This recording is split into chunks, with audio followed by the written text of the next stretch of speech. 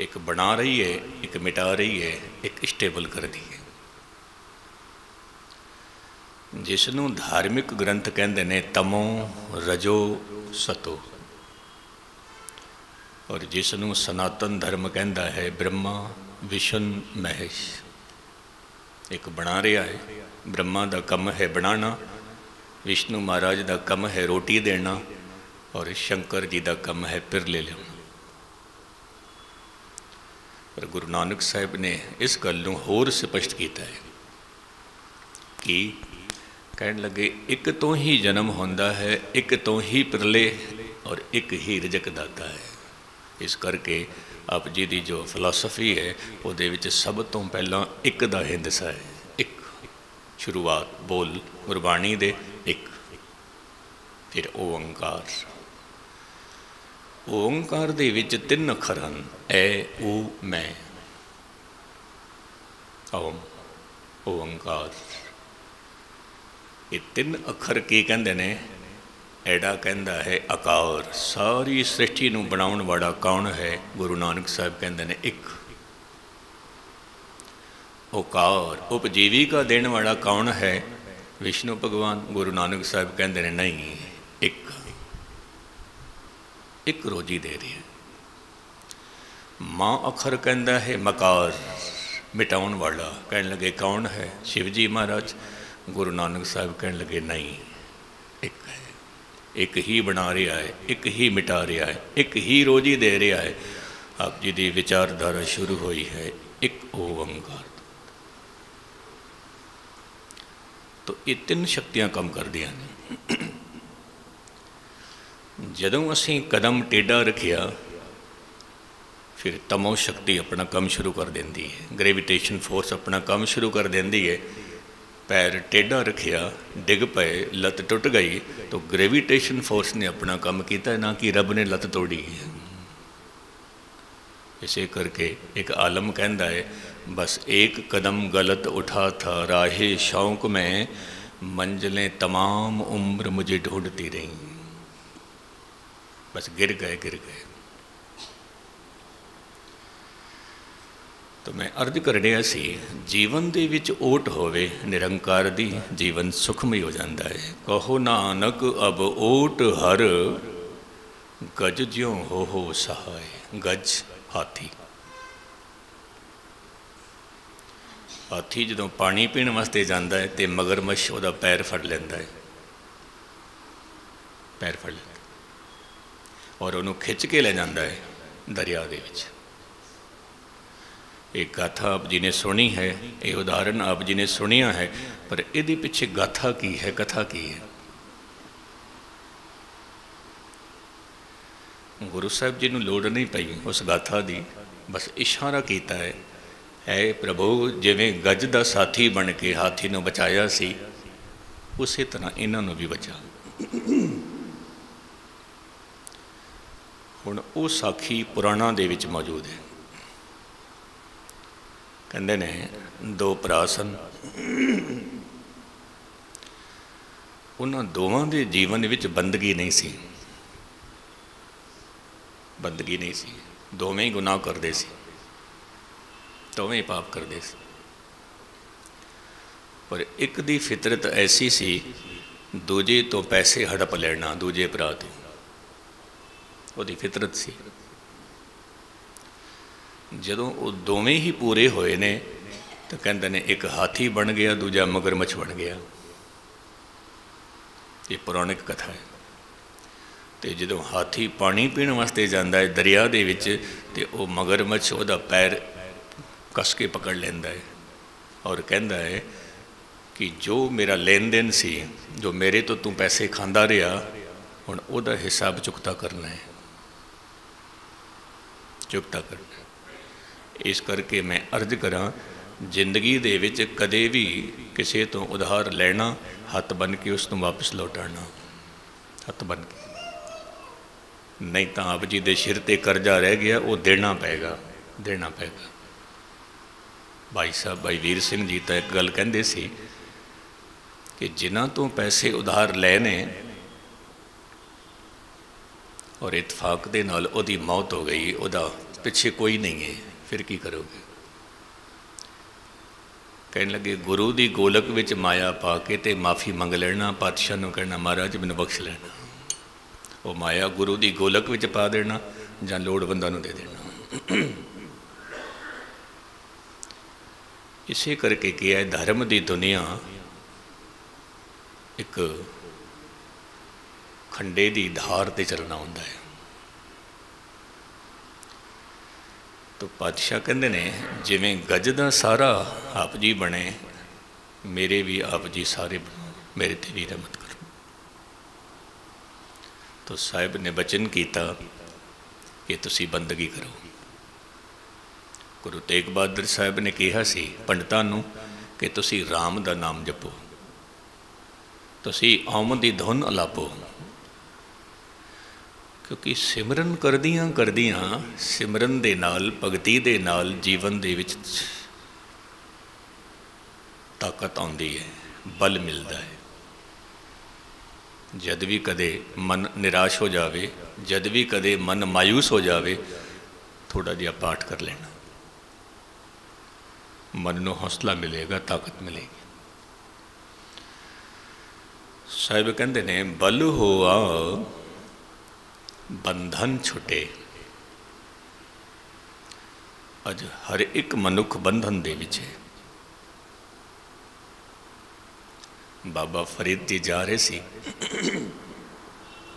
ਇੱਕ ਅਜੀਬ ਖੇਡ ਦੇਖੀ ਬਾਬਾ ਫਰੀਦ ਨੇ ਕਿ ਦਰਿਆ ਦੇ ਵਿੱਚ ਇੱਕ ਪੰਛੀ ਤੈਰਦਾ ਪਿਆ ਹੈ। ਇੱਕ ਪੰਛੀ। ਬੜਾ ਹੀ ਪਿਆਰਾ ਪੰਛੀ ਹੈ ਬੜਾ ਹੀ ਸੁੰਦਰ ਪੰਛੀ ਹੈ ਤੇ ਉਸ ਪੰਛੀ ਨੂੰ ਫੜਨ ਵਾਸਤੇ ਪੰਜਾਹ ਕੁ ਸ਼ਿਕਾਰੀ ਇਕੱਠੇ ਹੋ ਗਏ ਕਿਸੇ ਨੇ ਆਪਣਾ ਜਾਲ ਸੁੱਟਿਆ ਕਿਸੇ ਨੇ ਆਪਣਾ ਜਾਲ ਸੁੱਟਿਆ ਪੰਜਾਹ ਸ਼ਿਕਾਰੀ ਬੈਠੇ ਨੇ ਆਪਣਾ ਜਾਲ ਵਿਛਾ ਕੇ ਬੈਠੇ ਹੋਏ ਬਾਬਾ ਫਰੀਦ ਜੀ ਨੇ ਜਦੋਂ ਇਹ ਤਸਵੀਰ ਦੇਖੀ, ਆਪ ਜੀ ਵਿਸਮਾਦ ਦੀ ਦੁਨੀਆ ਵਿੱਚ ਚਲੇ ਗਏ। ਆਪ ਜੀ ਦੀ ਰਸਨਾ ਚੋਂ ਮੁਬਾਰਕ ਬੋਲ ਨਿਕਲੇ, ਫਰੀਦਾ, ਸਰਵਰ ਪੰਖੀ ਹੇਕੜੋ ਫਾਹੀਵਾਲ 50 ਪੰਖੀ ਇੱਕ ਹੈ ਔਰ ਫਾਹੀਵਾਲ 50 ਹਨ। ਹੁਣ ਉਹ ਪੰਛੀ ਕੀ ਕਰੇਗਾ? ਇੱਕ ਫਾਹੀ ਤੋਂ ਬਚੇਗਾ, ਦੂਜੀ ਫਾਈ ਵਿੱਚ ਪੈ ਜਾਏਗਾ। ਦੂਜੀ ਤੋਂ ਬਚੇਗਾ, ਤੀਜੀ, ਚੌਥੀ ਵਿੱਚ ਪੈ ਜਾਏਗਾ। ਸਰਵਰ ਪੰਖੀ ਹੇਕੜੋ ਫਾਹੀ ਵਾਲ ਪਚਾਸ, ਇਹ ਤਨ ਲਹਿਰੀ ਗੱਡ ਥਿਆ। ਇੱਕ ਹੋਰ ਵੀ ਗੱਲ ਕਹਿ ਦਿੱਤੀ।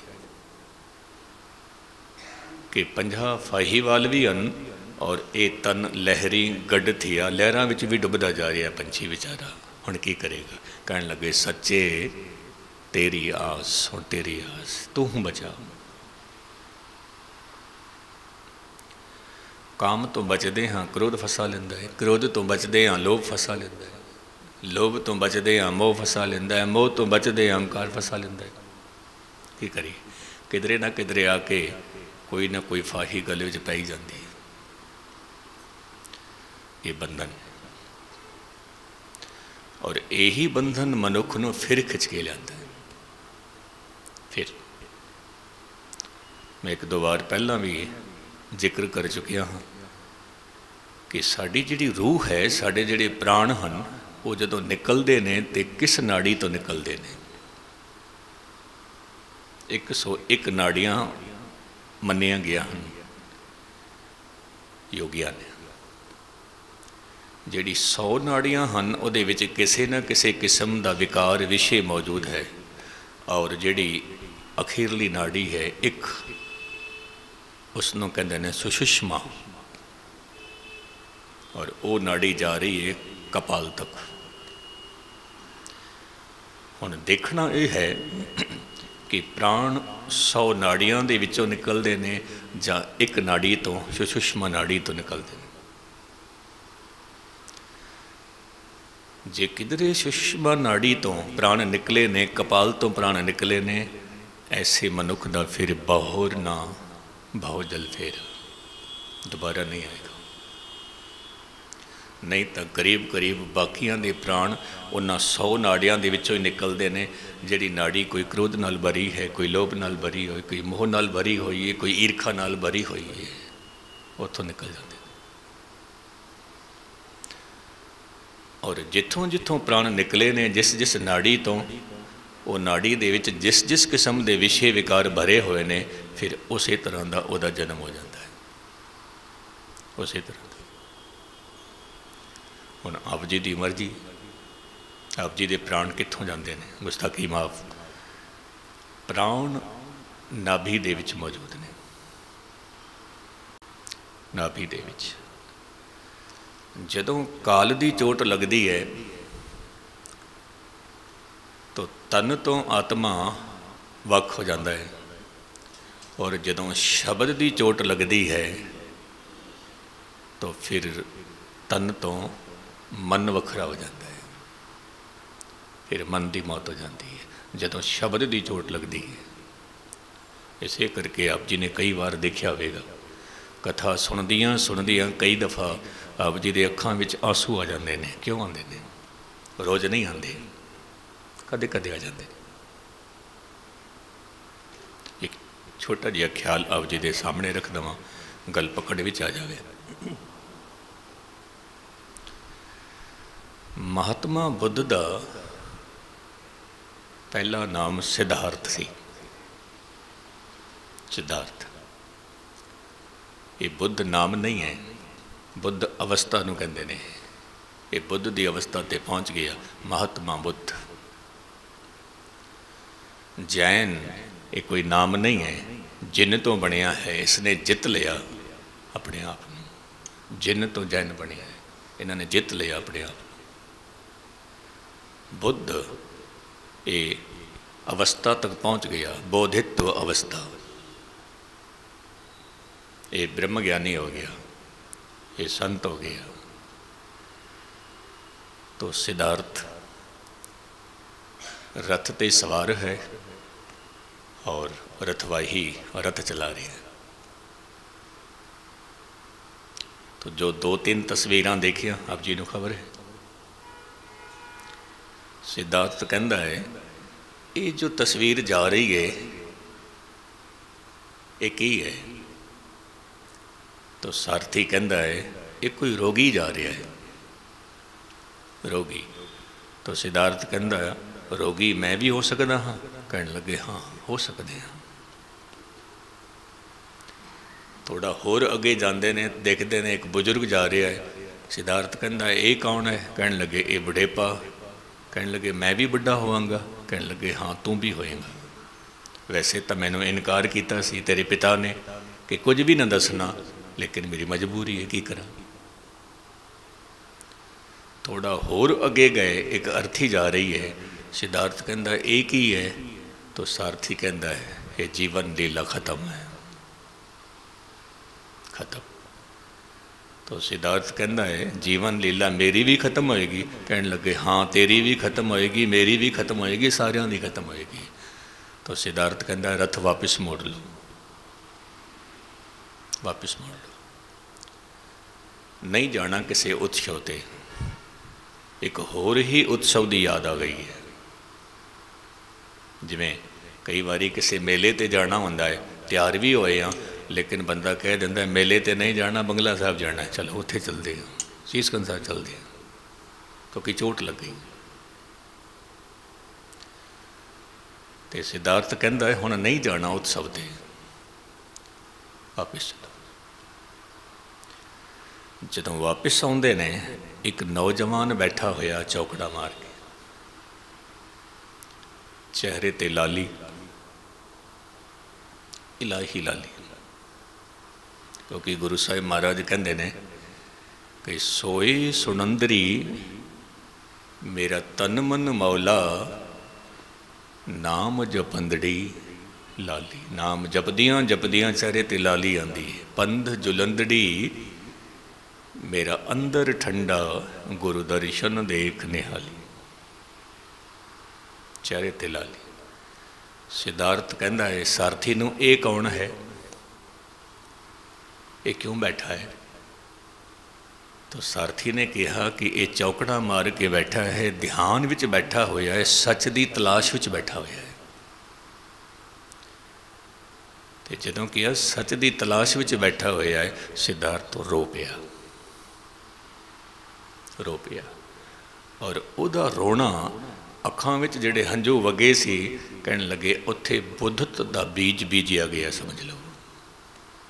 ਤੋ ਜਦੋਂ ਆਪ ਜੀ ਦਾ ਹਿਰਦਾ ਕਦੇ ਰੋਵੇ, ਕੁਰਬਾਨੀ ਸੁਣ ਕੇ, ਕਥਾ ਸੁਣ ਕੇ, ਤੋ ਸਮਝ ਲੈਣਾ ਬੀਜ ਬੀਜਿਆ ਗਿਆ, ਨਾਮ ਦਾ। ਬੀਜ ਬੀਜਿਆ ਗਿਆ। ਵੈਸੇ ਹੀ ਰੋਣਾ ਨਹੀਂ ਆਂਦਾ ਧਨ ਵਾਸਤੇ ਰੋਂਦੇ ਦੇਖਿਆ, ਪਦਾਰਥਾਂ ਵਾਸਤੇ ਰੋਂਦੇ ਦੇਖਿਆ ਮਕਾਨ ਵਾਸਤੇ ਰੋਂਦੇ ਦੇਖਿਆ, ਪਰ ਗੁਰੂ ਵਾਸਤੇ ਰੋਂਦੇ ਕਿਤੇ ਕਿਤੇ ਦੇ ਮੈਂ ਅਰਜ਼ ਕਰ ਰਿਹਾ ਸੀ, ਨਾਮ ਜਪਦੀਆਂ ਜਪਦੀਆਂ ਸਾਰੇ ਬੰਧਨ ਖਤਮ ਹੋ ਜਾਂਦੇ ਨੇ। ਔਰ ਜਦੋਂ ਬੰਧਨ ਖਤਮ ਹੋ ਗਏ, ਮਨੁੱਖ ਮੁਕਤ ਹੋ ਗਿਆ। ਔਰ ਜਦੋਂ ਮਨੁੱਖ ਮੁਕਤ ਹੋ ਗਿਆ, ਨਿਰੰਕਾਰ ਦੇ ਕੋਲ ਚਲਾ ਗਿਆ। ਕਈ ਵਾਰੀ ਅਸੀਂ ਕੀ ਕਰਦੇ ਆ ਗੱਲ ਚੰਗੀ ਲੱਗੇ ਤਾਂ ਰੱਖ ਲੈਣਾ, ਨਹੀਂ ਤਾਂ ਬੇਸ਼ੱਕ ਇਸ ਨੂੰ ਛੱਡ ਦੇ। ਕਿਸੇ ਦੀ ਅੰਤਿਮ ਅਰਦਾਸ ਹੋਈ, ਸਿੰਘ ਸਾਹਿਬ ਨੇ ਅਰਦਾਸ ਕੀਤੀ, ਮਹਾਰਾਜ 84 ਦੇ ਗੇੜੇ ਤੋਂ ਬਚਾਉਣਾ, ਚਰਨਾਂ ਦੇ ਨਾਲ ਜੋੜ ਲੈਣਾ। ਇੱਕ ਅਰਦਾਸ ਕੀਤੀ ਹੈ, ਫਿਰ ਪਾਠ ਰੱਖਿਆ, ਉਹਦੀ ਅਰਦਾਸ ਕੀਤੀ ਹੈ, ਫਿਰ ਮਦ ਦੀ ਅਰਦਾਸ ਕੀਤੀ ਹੈ, ਫਿਰ ਅੰਤਿਮ ਅਰਦਾਸ ਕੀਤੀ ਹੈ 84 ਦੇ ਗੇੜੇ ਤੋਂ ਬਚਾਉਣਾ, ਜੀਵਨ ਮੁਕਤ ਕਰ ਦੇਣਾ। ਇਹ ਵੀ ਕਹਿ ਦਿੰਦੇ ਆ, ਗੁਰਮੁਖ ਜਨਮ ਸਮਾਰ ਦਰਗੇ ਚੱਲਿਆ। ਸੱਚੀ ਦਰਗੇ ਜਾਏ, ਸੱਚਾ ਪਿੜ ਮੱਲਿਆ। ਸਾਲ ਬਾਅਦ ਫਿਰ ਕਹਿ ਦਿੰਦੇ ਨੇ ਪਾਤਸ਼ਾਹ ਜੀ, ਵਿਛੜੀ ਹੋਈ ਆਤਮਾ ਨੂੰ ਚਰਨਾਂ ਨਾਲ ਜੋੜ ਕੇ ਰੱਖਣਾ। ਸਾਲ ਬਾਅਦ ਫਿਰ ਵਰਸੀ ਤੇ ਕਿਸੇ ਨੇ ਸਵਾਲ ਕੀਤਾ, ਗਿਆਨੀ ਜੀ, ਕੀ ਹਾਲੇ ਤੱਕ ਮਿਲਨ ਨਹੀਂ ਹੋਇਆ? ਜੇ ਮਿਲਨ ਨਹੀਂ ਹੋਇਆ, ਤੇ ਫਿਰ ਇਹ ਸ਼ਬਦ ਕਿਉਂ ਕਿਹਾ ਸੀ, ਗੁਰਮੁਖ ਜਨਮ ਸਮਾਰ ਦਰਗੇ ਚੱਲਿਆ? ਫਿਰ ਉਸਨੇ ਇੱਕ ਗੱਲ ਆਖੀ ਬੇਸ਼ੱਕ ਤੁਸੀਂ ਪਾਠ ਕਰਾਓ, ਬੇਸ਼ੱਕ ਤੁਸੀਂ ਕੀਰਤਨ ਕਰਾਓ, ਲੇਕਿਨ ਫਿਰ ਇਹ ਨਹੀਂ ਕਹਿਣਾ ਕਿ ਵਿਛੜੀ ਹੋਈ ਆਤਮਾ ਨੂੰ ਚਰਨਾਂ ਦੇ ਵਿੱਚ ਨਿਵਾਸ ਬਖਸ਼ਣਾ।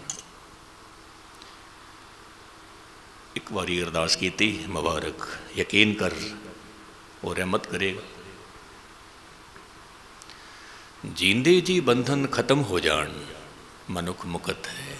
ਤਾਂ ਸਾਹਿਬ ਕਹਿੰਦੇ ਨੇ ਬਲ ਹੋਆ, ਸਿਮਰਨ ਕਰਦੀਆਂ ਕਰਦੀਆਂ ਬਲ ਹੋਇਆ, ਵਿਕਾਰਾਂ ਦੇ ਬੰਧਨ ਖਤਮ ਹੋ ਗਏ, ਸਭ ਕੁਝ ਹੋਤ ਉਪਾਏ, ਜੀਵਨ ਦੇ ਵਿੱਚ ਬਹੁਤ ਸਾਰੀਆਂ ਜੁਗਤੀਆਂ ਉਗਤੀਆਂ ਲੱਭ ਗਈਆਂ, ਉਸ ਮਾਲਕ ਨੂੰ ਮਿਲਣ ਦੀ ਨਾਨਕ, ਸਭ ਕੁਝ ਤੁਮਰੇ ਹੱਥ ਮੈਂ, ਤੁਮ ਹੀ ਹੋਤ ਸਹਾਇ ਤੇਰੇ ਹੱਥ ਵਿੱਚ ਸਭ ਕੁਝ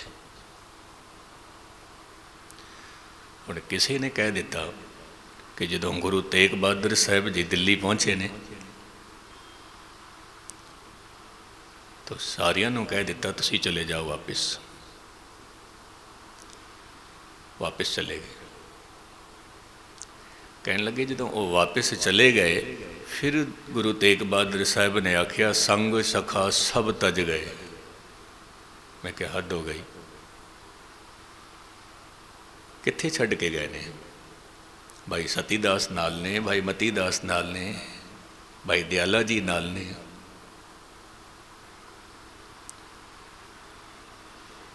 ਤੇ ਭਾਈ ਗੁਰਦੱਤਾ ਜੀ ਨੂੰ ਆਪ ਜੀ ਨੇ ਖੁਦ ਨੇ ਭੇਜਿਆ, ਤੁਸੀਂ ਅਨੰਦਪੁਰ ਸਾਹਿਬ ਜਾਓ। ਭਾਈ ਜੇਤਾ ਜੀ ਦੀ ਡਿਊਟੀ ਲਗਾਈ ਹੈ, ਤੁਹਾਡੀ ਇਹ ਡਿਊਟੀ ਹੈ।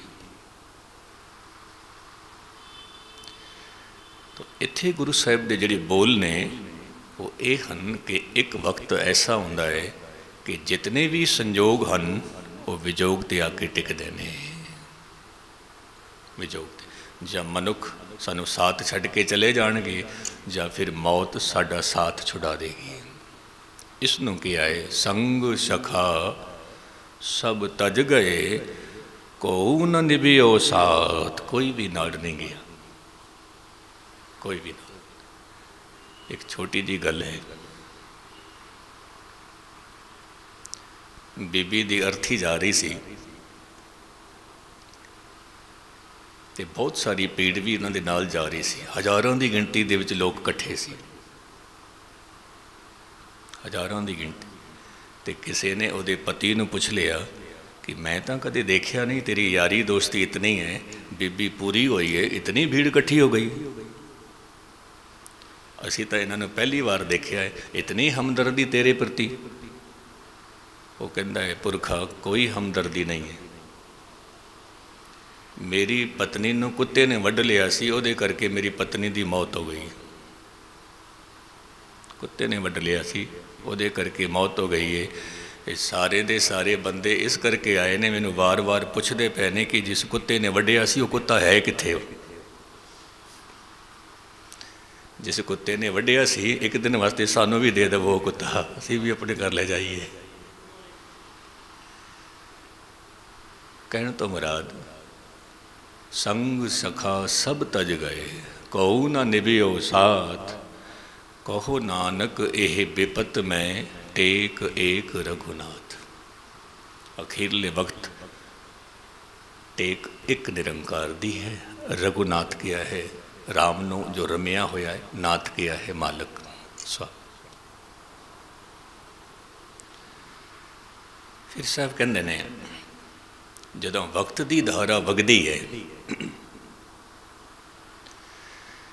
तो वक्त दी धारा के मुताबिक कितने ही आए कितने ही चले गए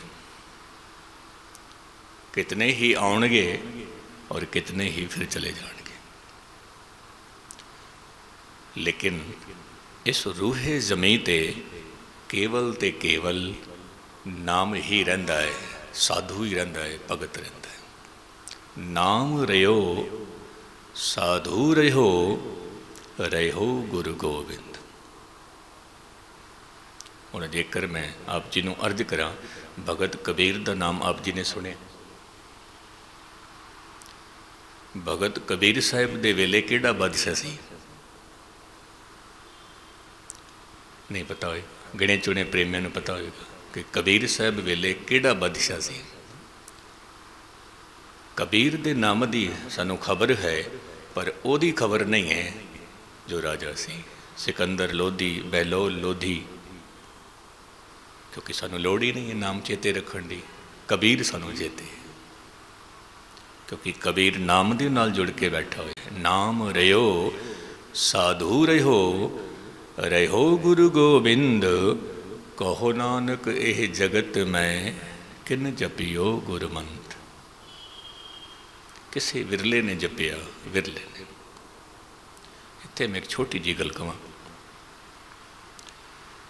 ਕੋਈ ਸੰਤ ਪੁਰਸ਼ ਕਥਾ ਕਰਦਾ ਪਿਆ ਸੀ। ਕਥਾ ਕਰਦਿਆਂ ਕਰਦਿਆਂ ਉਸਨੇ ਕਹਿ ਦਿੱਤਾ ਕਿ ਜਿਵੇਂ ਹਰ ਇੱਕ ਬੀਜ ਰੁੱਖ ਬਣਨ ਦੀ ਤਾਕਤ ਰੱਖਦਾ ਹੈ। ਹਰ ਬੀਜ। ਔਰ ਹਰ ਇੱਕ ਆਤਮਾ ਪਰਮਾਤਮਾ ਬਣਨ ਦੀ ਤਾਕਤ ਰੱਖਦੀ ਹੈ। ਬੀਜ ਦਾ ਰੁੱਖ ਹੋਣਾ ਜਨਮ ਸਿੱਧ ਅਧਿਕਾਰ ਹੈ, ਆਤਮਾ ਦਾ ਪਰਮਾਤਮਾ ਹੋਣਾ ਜਨਮ ਸਿੱਧ ਅਧਿਕਾਰ ਹੈ। ਤਾਂ ਇੱਕ ਪ੍ਰੇਮੀ ਨੇ ਕਿਹਾ, ਮਹਾਰਾਜ, ਮੈਂ ਕੁਝ ਪੁੱਛਣਾ ਚਾਹੁੰਦਾ ਜੇ ਹਰ ਇੱਕ ਆਤਮਾ ਦਾ ਰੱਬ ਬਣਨਾ ਜ਼ਰੂਰੀ ਹੈ, ਹਰ ਇੱਕ ਆਤਮਾ ਰੱਬ ਬਣ ਸਕਦੀ ਹੈ, ਬਣਦੀ ਕਿਉਂ ਨਹੀਂ ਫਿਰ? ਇਸ ਸਵਾਲ ਦਾ ਜਵਾਬ ਦਿਓ। ਤਾਂ ਫਿਰ ਸੰਤ ਨੇ ਕਿਹਾ, ਮੈਂ ਇਹਦਾ ਜਵਾਬ ਦਿੰਨਾ। ਤੁਸੀਂ ਇੱਕ ਕੰਮ ਕਰੋ, ਜਿਤਨੀ ਵੀ ਸੰਗਤ ਬੈਠੀ ਹੋਈ ਹੈ ਸਾਰੀਆਂ ਸੰਗਤਾਂ ਦਾ ਨਾਮ ਲਿਖ ਲੈਣਾ ਪਹਿਲਾਂ। ਔਰ ਉਹਨਾਂ ਨੂੰ ਇਹ ਵੀ ਪੁੱਛਣਾ ਕਿ ਅਖੀਰਲੀ ਅੱਜ ਕਥਾ ਹੈ, ਸੰਤ ਜੀ ਚਲੇ ਜਾਣਗੇ? ਔਰ ਤੁਹਾਡੀ ਅਰਦਾਸ ਕਰਕੇ ਜਾਣਗੇ, ਤੁਹਾਨੂੰ ਕੀ ਚਾਹੀਦਾ ਹੈ? ਹਰ ਇੱਕ ਨੂੰ ਪੁੱਛ ਲੈਣਾ। ਉਸ ਤੋਂ ਬਾਅਦ ਅਸੀਂ ਵਿਚਾਰ ਕਰਾਂਗੇ। ਤਾਂ ਉਸ ਮਨੁੱਖ ਨੇ ਉਹ ਫਹਿਰਿਸਤ ਤਿਆਰ ਕੀਤੀ, ਲਿਸਟ ਤਿਆਰ ਕੀਤੀ, ਹਰ ਇੱਕ ਦਾ ਨਾਮ ਲਿਖਿਆ, ਤਾਂ ਸੰਤ ਜੀ ਕਹਿਣ ਲੱਗੇ, ਹੁਣ ਮੈਨੂੰ ਸੁਣਾ। ਮੈਨੂੰ ਸੁਣਾ। ਇਹਦੇ ਵਿੱਚ ਕੀ ਲਿਖਿਆ ਹੈ? ਤੇ ਹਰ ਇੱਕ ਦਾ ਨਾਮ ਪੜ੍ਹ ਕੇ ਸੁਣਾਇਆ ਅੱਗੇ ਉਹਦੀ ਡਿਮਾਂਡ ਫਲਾਣੇ ਨੂੰ ਪੁੱਤਰ ਚਾਹੀਦਾ ਹੈ, ਫਲਾਣੇ ਨੂੰ ਦੌਲਤ ਚਾਹੀਦੀ ਹੈ, ਫਲਾਣੇ ਨੂੰ ਕਾਰੋਬਾਰ ਚਾਹੀਦਾ ਹੈ, ਫਲਾਣੇ ਨੂੰ ਤੰਦਰੁਸਤੀ ਚਾਹੀਦੀ ਹੈ, ਫਲਾਣੇ ਨੂੰ ਰਤਬਾ ਚਾਹੀਦਾ ਹੈ। ਇੱਕ ਵੀ ਬੰਦਾ ਐਸਾ ਨਹੀਂ ਜਿਨ੍ਹਾਂ ਨੇ ਕਿਹਾ, ਮੈਨੂੰ ਨਾਮ ਚਾਹੀਦਾ ਹੈ। ਇੱਕ ਵੀ ਫਿਰ ਸੰਤ ਨੇ ਆਖਿਆ ਕਿ ਘੋੜੇ ਨੂੰ ਅਸੀਂ ਦਰਿਆ ਦੇ ਕੰਢੇ ਲਿਜਾ ਸਕਦੇ ਹਾਂ। ਪਰ ਪਾਣੀ ਪੀਣ ਵਾਸਤੇ ਮਜਬੂਰ ਨਹੀਂ ਕਰ ਸਕਦੇ। ਆਪ ਜੀ ਦੀ ਮਰਜ਼ੀ ਹੈ ਉਹ। ਇਸ ਕਰਕੇ ਸਾਹਿਬ ਨੇ ਕਿਹਾ, ਕਹੋ ਨਾਨਕ, ਇਹ ਜਗਤ ਮੈਂ ਕਿਨ ਜਪਿਓ ਗੁਰਮੰਤ? RAM ਨਾਮ ਉਰ ਮੈਂ ਗਇਓ, ਜਾਂ ਕੇ ਸਮ ਨਹੀਂ ਕੋਈ ਜਿਹਦੇ ਬਰਾਬਰ ਹੋਰ ਕੋਈ ਵੀ ਨਹੀਂ ਹੈ। ਜੇ RAM ਦਾ ਨਾਮ ਹਿਰਦੇ ਵਿੱਚ ਟਿਕ ਗਿਆ, ਜਹ ਸਿਮਰਤ ਸੰਕਟ ਮਿਟੇ ਦਰਸ਼ ਤੁਹਾਰੋ ਹੋਏ। ਜਿਹਦੇ ਸਿਮਰਨ ਦੇ ਨਾਲ ਸਾਰੇ ਸੰਕਟ ਕਟ ਗਏ, ਖਤਮ ਹੋ ਗਏ, ਜਨਮ ਔਰ ਮਰਨ ਖਤਮ ਹੋ ਗਿਆ। ਉਹਦੀ ਇਬਾਦਤ ਨਾਲ, ਉਹਦੇ ਸਿਮਰਨ ਨਾਲ ਗੁਰੂ ਸਾਹਿਬ ਰਹਿਮਤਾਂ ਕਰਨ ਆਪ ਜੀ ਦਾ ਬਹੁਤ ਬਹੁਤ ਧੰਨਵਾਦ। ਇੱਕ ਮਨ, ਇੱਕ ਚੁੱਤ ਹੋ ਕੇ ਆਪ ਜੀ ਨੇ ਕਥਾ ਸ਼ਰਵਨ ਕੀਤੀ। ਧੰਨ ਗੁਰੂ ਗ੍ਰੰਥ ਸਾਹਿਬ ਜੀ ਮਹਾਰਾਜ ਦਾ ਧੰਨਵਾਦ। ਕੋਟਾਨ ਕੋਟ ਰਹਿਮਤ ਕਰਕੇ ਆਪਣੀ ਕਥਾ ਆਪ ਕਰਾਈ। ਲਾਂ ਚੁੱਕਾਂ ਦੀ ਖਿਮਾ ਵਾਹਿਗੁਰੂ ਜੀ ਕਾ ਖਾਲਸਾ ਵਾਹਿਗੁਰੂ ਜੀ ਕੀ ਫਤਿਹ।